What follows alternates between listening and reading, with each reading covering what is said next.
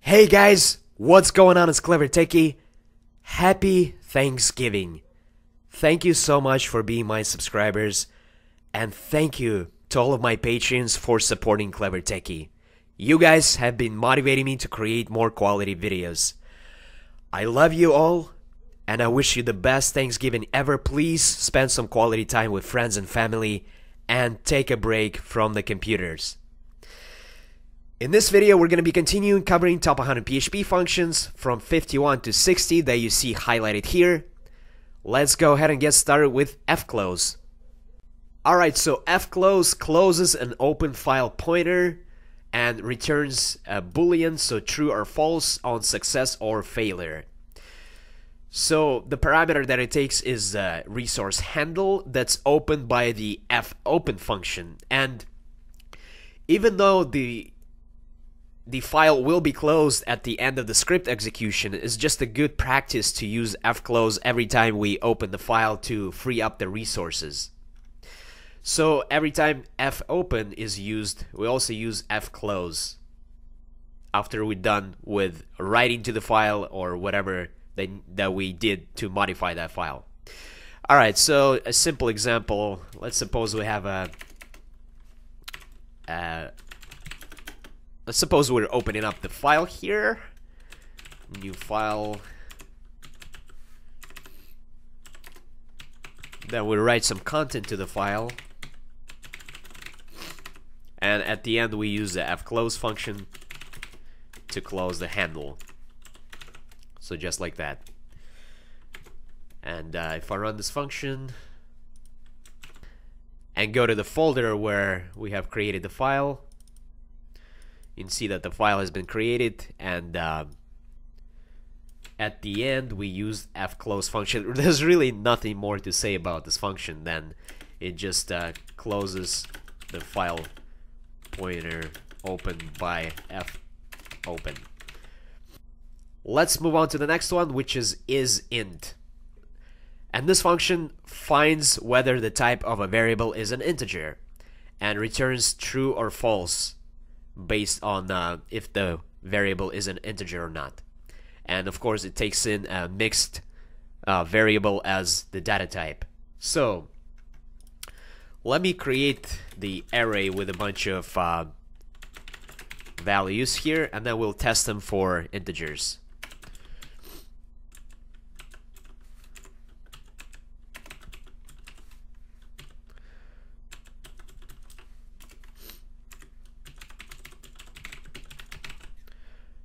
Alright, so we got these values inside of the array, and uh, the only integer here is 23. So this first value here, the rest do not qualify as integers. So let's go ahead and um, run the int val or isInt function on this. So I'm gonna create the for each loop and just run through all the values and then I'm, I'm using the php.net's example here to output the values along with a representation using the var export function that we used in previous videos to see what the actual representation is instead of the value.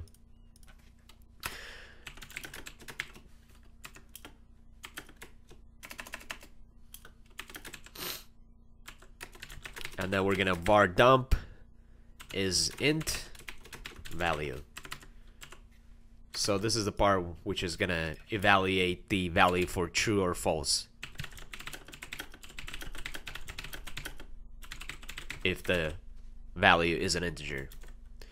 So I'm gonna refresh here and as you can see we can see the actual representation of the value here and uh, whether it's uh, whether it's an int or not. So the only one that's an int is the first one, which is the number 23, because the rest of them are either in quotes, they're float, they're null, they're boolean, etc., etc., etc. So the only one that qualifies as an integer is 23.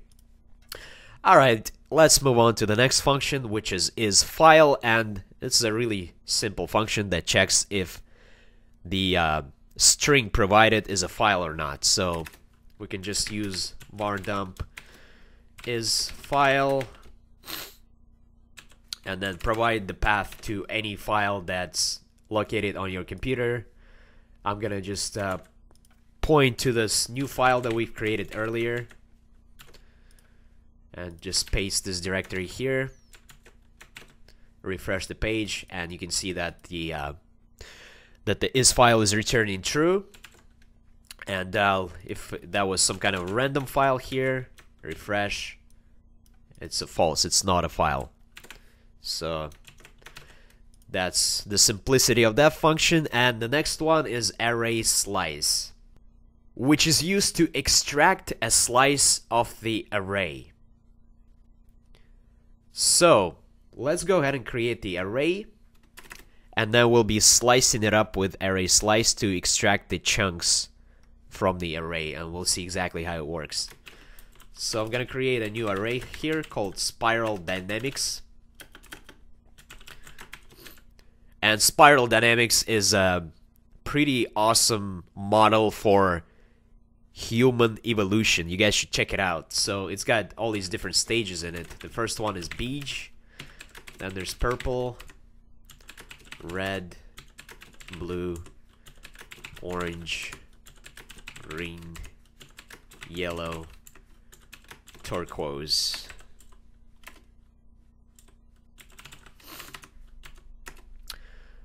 Okay, so let's go ahead and print out this array just to see what it looks like in its original form.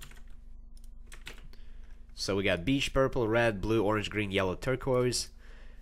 And um, now we can use array slice to extract the chunks of the array. So if we wanted to extract blue from yellow, we would do one, two, three, four, and then one, two, three. So we provide four to three because. Okay, so here's how it works. Array slice returns the array, which is gonna be uh, the chunk of the array that we provide here, and uh, the first parameter that it accepts is the array that we're going to be extracting the chunks from, and then the offset, which is the position to start. So if we're going to be using offset 1, 2, 3, 4, that's going to be this value here. And then we provide the length. So if the length length is 1, 2, it's going to extract blue and orange. So by uh, specifying array, then the number 4 and 2, we should get blue and orange. So let's go ahead and uh, see if that is the case indeed. So we're going to create a new array called chunk and use array slice. Spiral dynamics. 3, 2. And then we're going to print out the chunk. So as you can see, we are extracting blue and orange. One, two, three, four.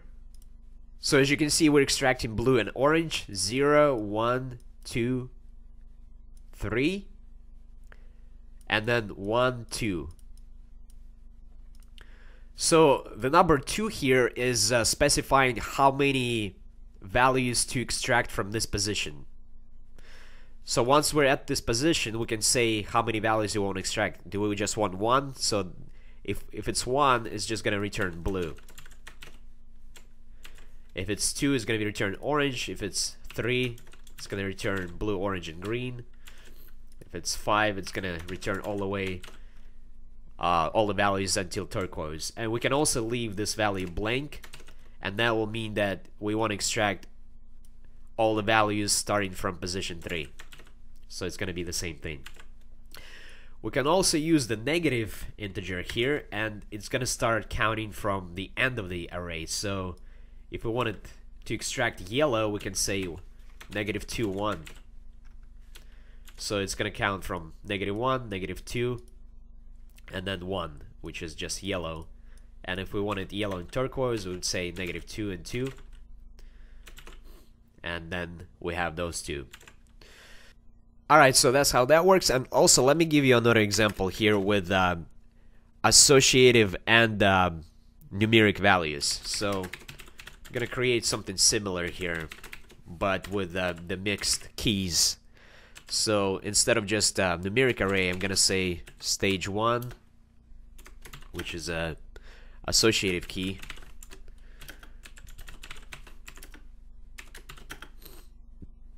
Purple.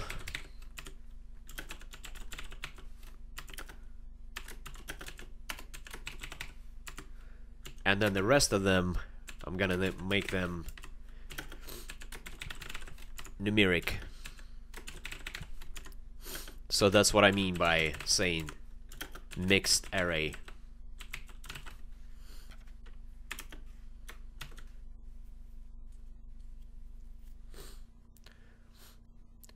So now let's see what happens if we do this.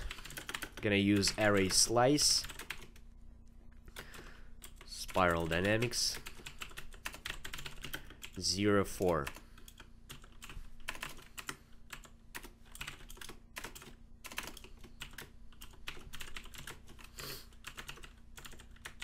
refresh. And so now we got beige, purple, red, and blue.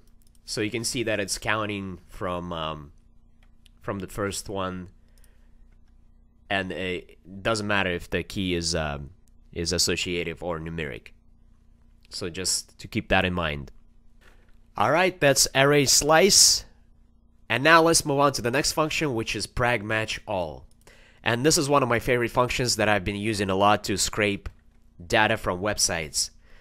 And for this, I want to show you guys a practical example of how we can use this function. So I'm going to go to a website called coinmarketcap.com, which is a website used to keep track of cryptocurrencies. And here, if we wanted to extract all these names of all the cryptocurrencies here, we can use pregmatch all. And then I'm going to go ahead and copy this HTML.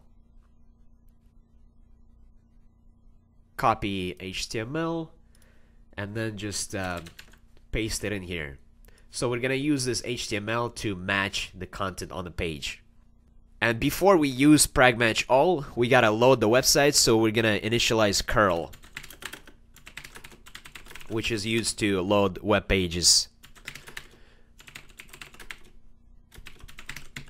And we're also gonna set some curl options. The first one is the URL, which is the URL that we want to load coinmarketcap.com. The next option we're going to set is curl opt return transfer. And we're going to set it to true because we want to return the transfer as content and store it in a variable instead of outputting it as a web page. And the final one, since uh, we're loading HTTPS SSL protocol, we're going to say curl opt SSL verify peer and set it to false. Then we're gonna store everything inside the content using curl execute.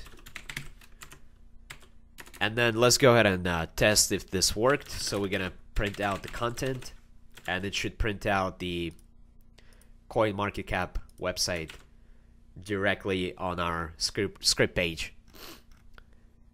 And um, yep, there it is. It's loading all the content, and now we're ready to use pregmatch all to match uh, the HTML content of the names of the cryptocurrencies. All right, so let's first of all look it up in the PHP manual to break down how the function works. Okay, so it performs a global regular expression match it's going to return uh, the integer based on how many characters the string that we're matching but we're going to be storing everything inside that matches array which is an optional parameter here and uh, the first parameter that we're going to be specifying is a regular expression pattern. And then the string which is going to be our content. So it's all the html content that we're loading. And uh, then we're going to be storing everything inside of the matches array. So Let's see how that works. Alright, so preg match all. The first parameter is a regular expression, so it's going to be this HTML that we've uh, copied earlier. I'm actually going to use single quotes here as literal string. and we, we gotta surround it with uh, exclamation marks. Also, we're gonna use some uh, regular expression patterns here because this value here can be anything. So, in order to match anything, we use dot, star, and question mark. And if you guys don't understand regular expression, please look up my video on the regular expressions that explains uh, what all these patterns mean. Then this is the value that we want to capture here, which is the name of the cryptocurrency. So we're going to use parentheses to capture the value, and then again, dot star and question mark, which can be any character at all. So now this is our regular expression, and we should be capturing the value, which is the name of the cryptocurrency. The next one is the content, which is all the HTML that we've loaded, and then we're gonna match. We're gonna store everything inside of the matches array. So let's see how the matches looks like now. Just gonna print it out, reload the page, and we should have all of the cryptocurrencies stored inside of the array.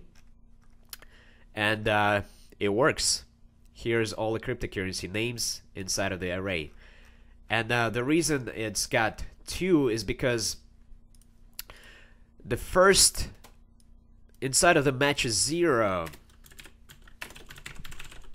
is uh, where the whole regular expression match is going to be stored. So it's going to be all of this along with the HTML. So if I go to view page source, you can see that it also captured the HTML along with the currency name.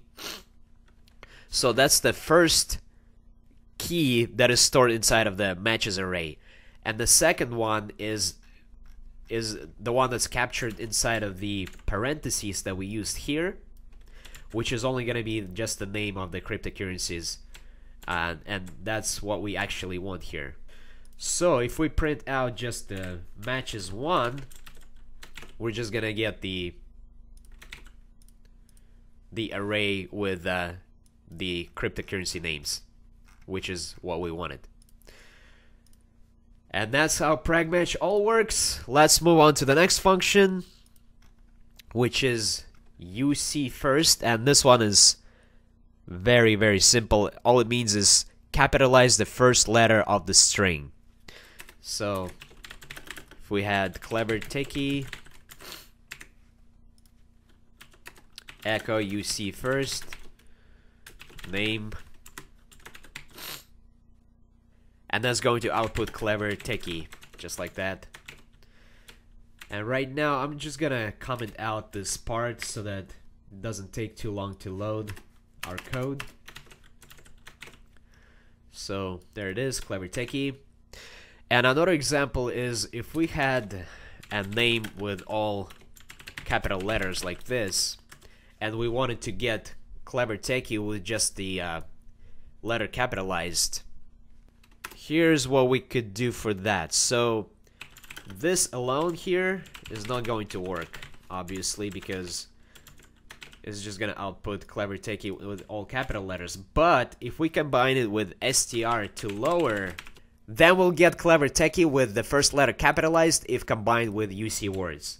So it's a pretty cool trick if we wanted to convert all caps to just the first letter capitalized, just like uh, in the first example. Alright, so that's UC first. Let's move on to the next one, which is int val. So it gets the integer value of a variable. And uh, let's go ahead and create the array of values for this one. And we're gonna use number 42, 4.2, 42 as a string, plus 42, minus 42, null, 0 042, and false. And then we're just going to use a simple for each loop to run through all the values. And here we're going to use int val to evaluate the value for integer. Okay, refresh the page, and here we got 42. Okay, so here uh, the first value is 42, which is a which is just the integer. The second one it converted the float to 4 because 4.2 is a float, it's a decimal number, and uh, the integer of the float is just 4. Next, it converted the string to 42. Then we converted a positive number plus 42 to just 42. And uh, the negative one stayed negative. The null is converted to 0. Uh, the string version of 0, 42 is converted to 42. And false is converted to 0. So it just gets the integer value of the uh, of the variable. And that's how it works. There are other examples that you guys can look up at php.net manual. Alright, so the next one is uh, another simple function called uh, str repeat. And uh, I just learned about it. So all it does it just repeats the so all it does is repeats the string as uh, specified by the second parameter. So I came up with this random string here. It doesn't really mean anything. It's just um, the string that I came up with. And then, um, so we've specified the string as a first parameter, and for the second parameter, we specify how many times to repeat that string. And so that's exactly what it did here. It repeated the string 10 times. And that's really all it does. So it's pretty fun function to play around with and see uh, what kind of uh, character art you can come up with by repeating it uh, as many times as you like. The next function is serialize, and I also just learned about this one. It's used to create a storable representation of a value, and uh, it returns a string. And uh, here's how it works. Okay, so let's suppose let's let me just give you a basic example first uh, using a string. So echo serialize clever techie. Let's see what this does first.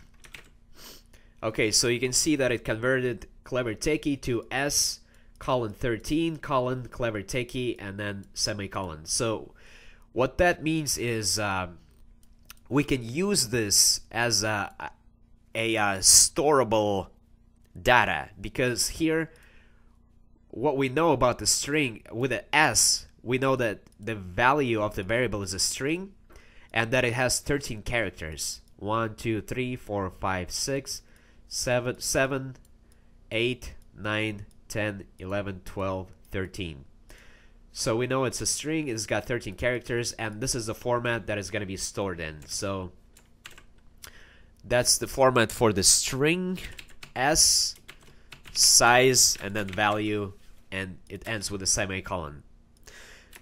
Another value that we can store is an integer and integer is stored just like i value and then semicolon. So echo serialize 100 for example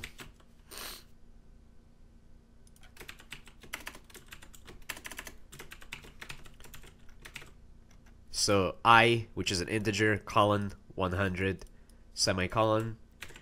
And uh, another example I want to give you guys is the array. So array is stored like this. A, size of the array, and then colon, key definition, colon, value definition. And then colon and uh, curly bracket.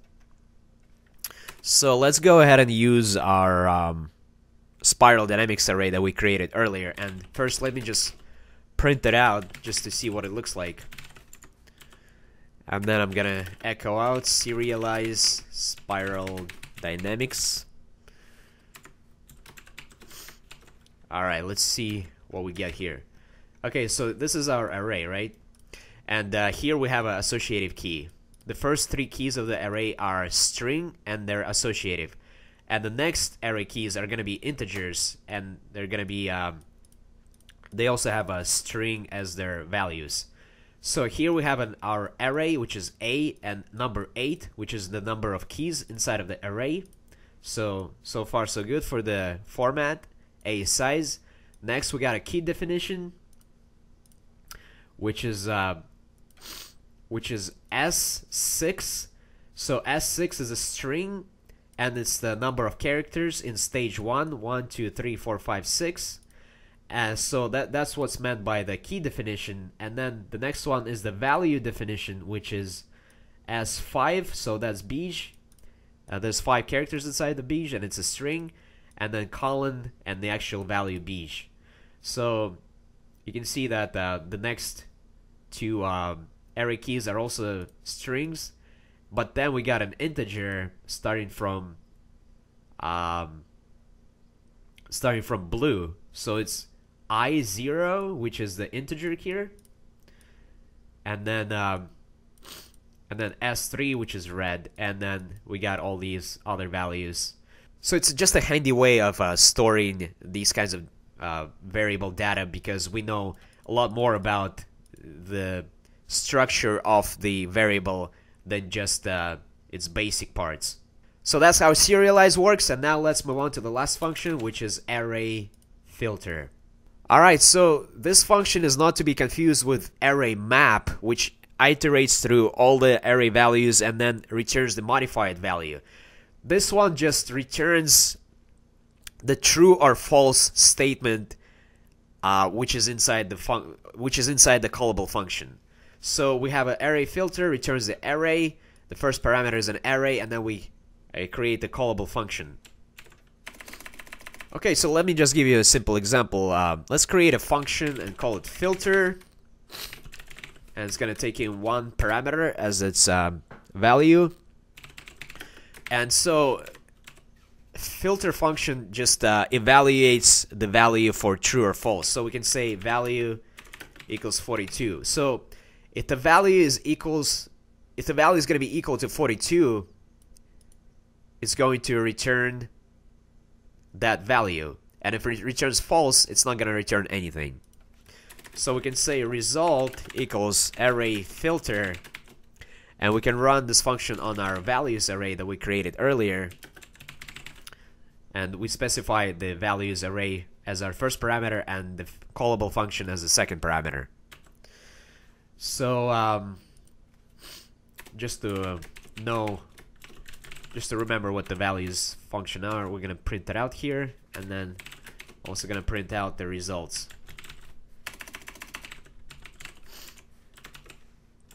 Alright, let's see what this does. Refresh. Okay, so now we got all these values, right? And um, remember that some of the values inside of the um, of this function are null and false.